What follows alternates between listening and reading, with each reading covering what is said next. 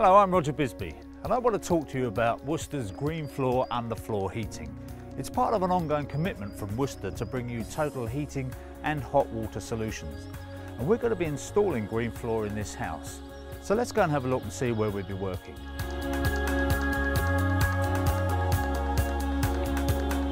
Underfloor heating is growing in popularity and for good reason. It goes hand in glove with today's high efficiency boilers and heat pumps.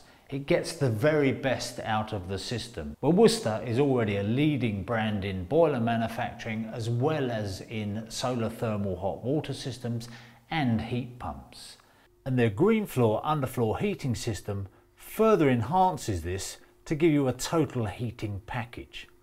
This gives you the reassurance of a leading brand and gives your customers the same peace of mind.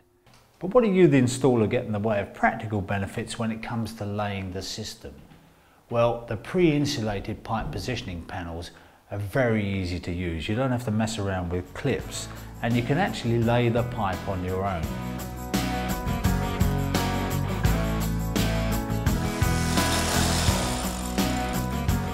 Okay, so that's the holes drilled for the pipes to go through to the manifold. We've got six holes, six pipes because we've got three circuits here. The reason we have three circuits, even though it's one room, is because the pipe length must be limited to 120 metres maximum. So before we can put the pipe in, we need to put down the pipe positioning panel, which goes on the floor here. It's got some insulation underneath it. And on top of that, we put the edge insulation, which is also an isolation. Now, the reason I call it an isolation is because it doesn't only insulate the screed from going up, transferring the heat into the wall, it also isolates it so that we get a bit of expansion. You'll notice that this is nice and soft and that will allow the screed as it warms up to expand slightly.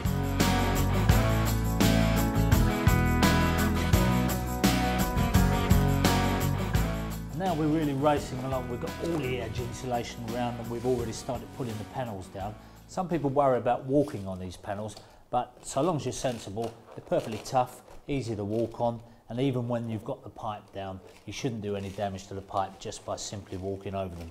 I'll just show you how these go together. They interlock and there's an overlap so that you can make sure the panels are nice and snug. There's no chance of the screed, even if it's a liquid screed, there's no chance of it leaking down in there.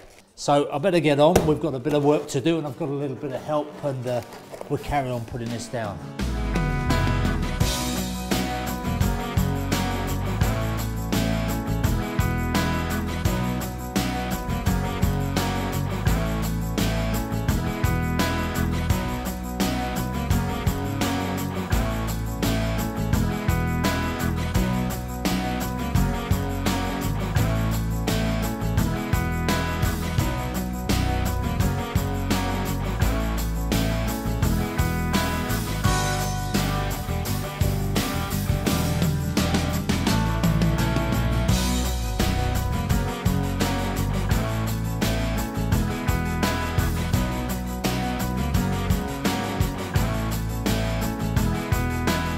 Well, we've managed to put down these two circuits very quickly indeed. It took us about 15 minutes per circuit to do these, so we've just got one to go. But I just want to show you what we've done here.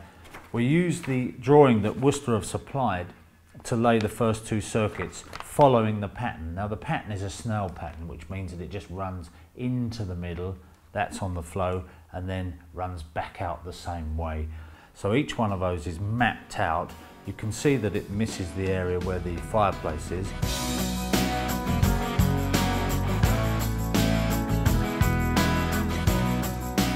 When you come to cutting the pipe, you have to make sure that the length you've got left is enough to do the circuit. And you might wonder how you do this. You wouldn't want to get right to the end and find you were four metres short because the key thing is not to put joints in the floor if we can possibly help it. So the way this is done is that we take the drawing and on the drawing, it gives each circuit and it gives the length of pipe required for each circuit. On the pipe, it's printed. This is a 200 meter coil. So we've started using it from the 200 meter, which is the outside edge. We now find that if we look on the, the printed edge, it's got 121 meters left. So if we had another circuit to do, we could calculate that this coil was enough to do it. So I cut myself off a nice margin to get through the wall and up to the manifold. Simple job. And lay that coil aside for my next job.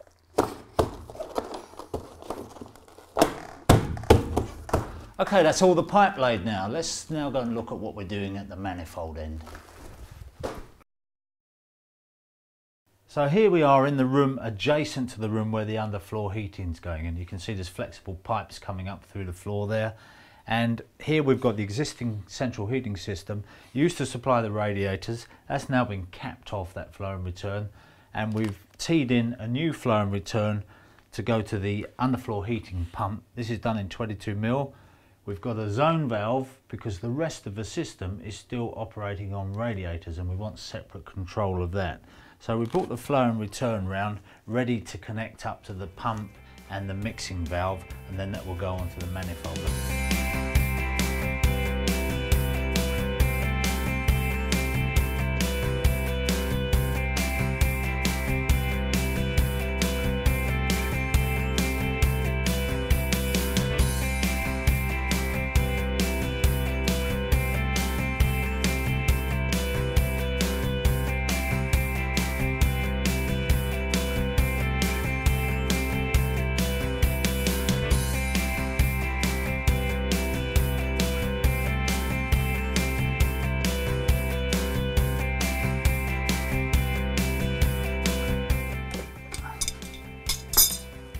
Okay, so that's all the pipework connected up now and we're ready to flush it through, get rid of any debris. Hopefully there won't be any debris, but we'll get rid of the air out of the system.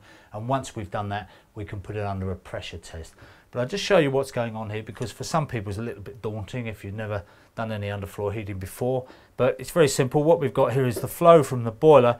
It's coming up into the thermostatic mixing valve. Now we set this anywhere between 30 and 50 depending on what we want and that mixes a little bit of water, lets us go through at the required temperature through into the underfloor circuits. Here are the flow regulators. And then it returns but if it's coming through hot it's going back through the system. It's recirculating. Now as the temperature drops it's sensed by the mixing valve and the mixing valve just bleeds a little bit of hot water through there just to warm it up. So you get the maximum efficiency out of it and that way you do control the temperatures. If anything went wrong, that mixing valve failed or there was a failure on the boiler thermostat and the water was coming through too hot, then you've also got a limit stat here which will shut the pump off if the water is coming through too hot for the circuit. So it should never be a case where we're getting water coming into the screed which would potentially crack the screed. That just shouldn't happen on a good system. We've got a couple of isolating valves here. We turn those isolating valves off when we start because we're going to fill from our manifold with a hose and just use mains pressure just to get the system going and we fill each circuit individually so we make sure that we've got all the air out of one circuit before we go on to the next one and then we fill up all three circuits like that. Now we've got the system filled up and we've flushed it through and got all the air out of the system, we're ready to put it under pressure test. And for this we use a standard screw-on pressure gauge which we're going to leave on the system for 48 hours just to make sure it's absolutely fine and of course while the screeding is going on. And then we need to open all the circuits up so we can just make sure they're open on the top here but also on the bottom here we turn those round and make sure that they are also open. When we've finished and we adjust the flow rates, we can lock those in position, but for now we're going to have them fully open. So all I've got to do now is pump a little bit of pressure in. We're going to put it up to 6 bar and see how it holds up. Now the drying time is a crucial thing. What we're talking about is a setting time on the screed of 21 days. During that time, the more moisture you can keep in the screed, the better. So if you can cover it with something like a bit of polythene and it sweats away underneath there, that will improve the curing time and you really will get a first class screed. After that time, it's the drying time. Now a general rule of thumb is that you allow one millimetre per day for drying.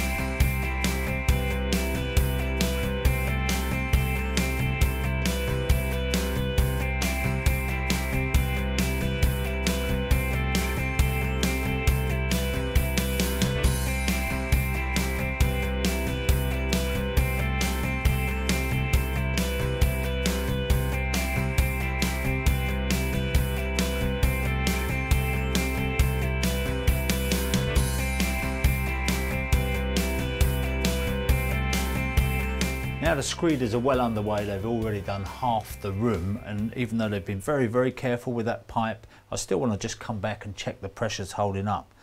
And I noticed that the pressure's crept up. Actually, when I pressure tested it, I put it up to six bar and then I dropped it down to four to hold it at four and now it's crept up again to five. The reason that's happened is because the screed is already beginning to cure and sander cement that creates heat and as it's curing it's expanding the water in the circuits and that's creating our extra bit of pressure. So that's the reason I dropped it down a bit. It can now creep up to 6 even 10 bar if it likes. So this is the screed all laid and as a plumber you might not have too much influence over what goes on on the build but if you can possibly manage it persuade everybody to stay off it for at least three or four days because during that stage any pressure on the screed starts to flex it can cause cracking and under those circumstances the ideal condition is to keep as much moisture in the screed as possible and keep it slightly warm. The one thing you don't want to happen is any freezing. So now that's the end of a three week curing process and what we now want to do is commission the system, get it up and running so that we can run a bit of heat through that screed to help dry it off. So we've got the system switched on ready to go. I'm using a RF thermostat here so I can just dial in the heat and bring the controller into action. And then what I need to do is to check the pump is up and running and then adjust it so that we get the flow rate right through each of these circuits. Now down here on the flow controls, if I look at the drawing, it tells me that I need two litres a minute going through each circuit. That'll vary according to what circuit you've got, but it will be on the drawing. So I just make those small adjustments there. Make sure that's going. Now the temperature, I want to check the temperature on here and what I'm going to do is run it at 25 degrees centigrade for three days. After that I'm going to increase it to 40 degrees centigrade to continue the drying out process in the screed. I do that so that we gently introduce the heat into the screed so we don't crack it and we begin that drying out process and because we're drying out what I want to do is leave the heat source running day and night so that we've got 24 hours of continuous heat. We don't want to be switching it on and off during this period. So we just run that nice and gently so that it dries it out. And then when it comes to laying the floor covering itself, whether it's wood or tiles or whatever it is, even carpet, then you need to turn the heating of the screed off so the underfloor heating isn't on anymore the screed can cool down enough and then the floor layer can do their bit and then after that it can be used in the normal way.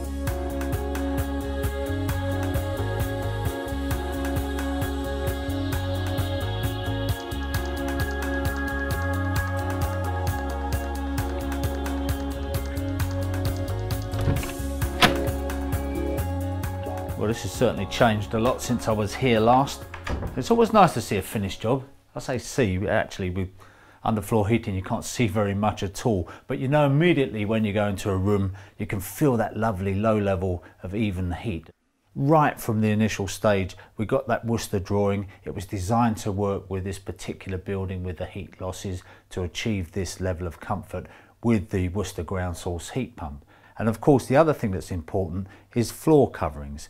You specify the floor coverings at the beginning and that gives you the heat outputs. It can be used with wood floors, with carpets or with ceramic tiles, which is always a favourite. And one of the things that I find with underfloor heating is the jobs sell themselves. Once you've installed a green floor system and their friends and family have come around and they've experienced the increased comfort levels, not to mention the reduced running costs that come with underfloor heating, then you find yourself getting a lot of referrals. So get involved, contact Worcester, get more information book yourself on a training course and you could find yourself very busy indeed.